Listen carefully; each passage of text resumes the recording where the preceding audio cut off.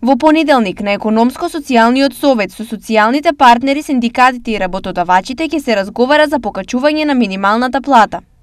Сојузот на синдикатите со месеци наназад бара минималната плата да се покачи на 18.000 денари.